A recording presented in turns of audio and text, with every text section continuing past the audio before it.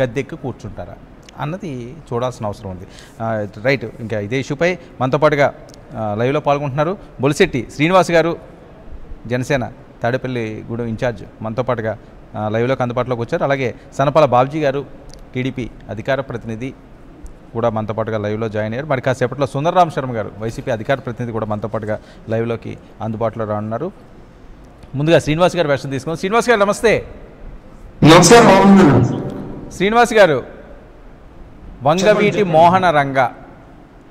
ఆయనతో మీకున్న అనుబంధం అవనియండి లేకపోతే ఆనాడు జరిగిన అంశాలు అవనియండి ఆ ప్రాంతానికి అతి చేరువలో ఉండే ప్రాంతంలోనే మీరు ఉంటున్నారు కాబట్టి పూర్తిగా అవగాహన ఉన్న వ్యక్తి మీరు మా వంగవీటి గారు. వంగవీటి గారు చనిపోయిన వంగవీటి గారు చనిపోయిన తర్వాత జరిగిన పరిణామాలు అవనియండి. ఇప్పటికీ ఆయన విగ్రహాన్ని ఫోటోని వాడుకోకుండా ఏ రాజకీయ పార్టీ మనలేదు గెలలేదు. ఇదైతే వాస్తవం. చరిత్ర చెప్తున్న సత్యం. రానున్న రోజుల్లో కూడా ఖచ్చితంగా ఆయన వాడుతూ ఉంటారు. కానీ ఆయన పేరు మీద ఒక జిల్లాకు పేరు పెట్టరు ఒక విమానాశ్రయానికి పేరు పెట్టరు. ఆయన పేరుని ఉచ్చరించరు. ఒక్క ఎన్నికల సమయంలో ఓట్ల సమయంలో తప్ప. ఏంటి వివక్ష? డిఫరెంట్ అంటే ఇవాళ మోహన్ గారు కృష్ణా జిల్లా పేరు చెప్తే వంగవీటి మోహన్ గారు గుర్తొస్తారండి.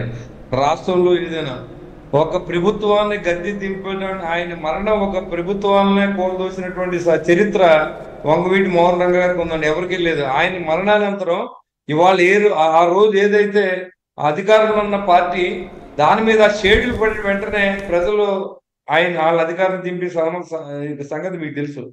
ఆయన ఒక కులానికి సంబంధించిన వ్యక్తి కాదు. అందరినీ అన్ని ఏదైతే వెనుకబడిన కులాలని ప్లస్ బడుగు బలహీన వర్గాలకి ఆశాజ్యోతిగా ఉండేటువంటి వంగవీటి మోహన్ రంగా గారి యొక్క పేరు ఈ రోజు వరకు మీరు అన్నట్టుగా కానీ జీవీఎల్ గారు అన్నట్టుగా కానీ ఎలక్షన్స్ వరకు వాడుకోవడం మళ్ళీ ఎలక్షన్స్ రాబోతూ ఉన్నాయి మళ్ళీ స్టంట్ మొదలు పెట్టడం తప్ప వైసీపీలో ఉన్నటువంటి ఎమ్మెల్యేలు కానీ ఎంపీలు కానీ మంత్రులు కానీ కాపు సామాజిక వర్గానికి చెందిన వ్యక్తులు కానీ కనీసం మేము మీరు వంగవీటి మోహన్ రంగ గారి పేరు పెట్టండి అని అప్పుడు ప్రపోజల్ వచ్చినప్పుడు కూడా కనీసం పెట్టలేని పరిస్థితి.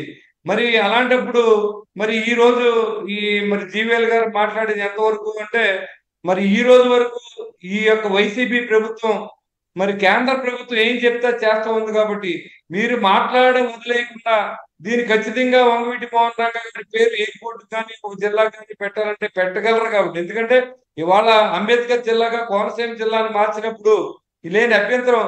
ఇవాళ మరి ఈ జిల్లాలో ఏదో జిల్లాకి పెట్టినంత మాత్రాన వాళ్ళకి వచ్చి నష్టమే ఉండదు. కానీ వైసీపీలో ఉన్న కాపులందరూ కూడా ఎవరు కూడా కనీసం ఎమ్మెల్యేలు కానీ మంత్రులు కానీ వెళ్ళి ఎంపీలు కానీ మాకు వంగవీటి రామ రంగ గారి పేరు పెట్టమని అడిగే ధైర్యం జగన్మోహన్ రెడ్డి దగ్గర లేదని చెప్పి నేను అభిప్రాయపడతా ఉన్నా.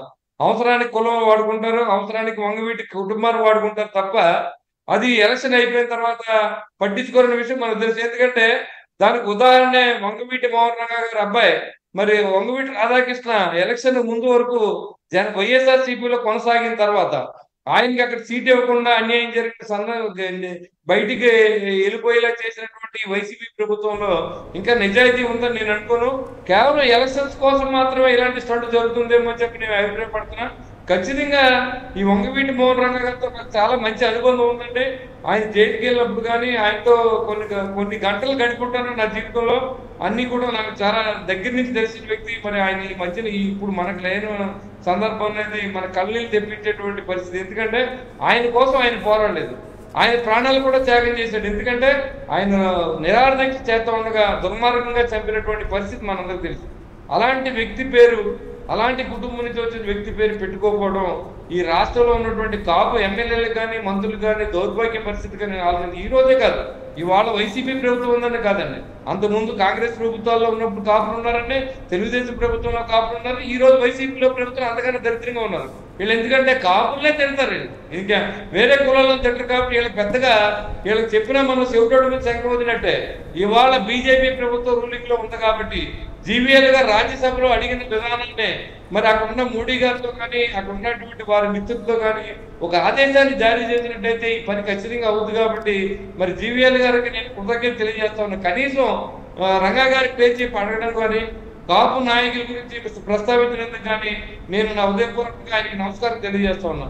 ఖచ్చితంగా ఇది జరగాలి జరగడం కోసం మరి మనం అందరూ కూడా ఒక మాట మీదకి రావాలి. పోరాటం చేసే పరిస్థితి లేదు. ఎందుకంటే ఈ ప్రభుత్వంలో ఏం చెప్పినా చెవిటోడ ముందు చెంగ వదిలినట్టు ఉంది తప్ప ఏమాత్రం రిసీవర్స్ పనిచేయని ప్రభుత్వం. ఓకే. ప్రతిపక్షాల గొంతులకే ప్రభుత్వం. Right, శ్రీనివాస్ గారు. ఇలాంటి ప్రభుత్వాల్లో శ్రీ శ్రీనివాస్ గారు రంగా గారితో మీకున్న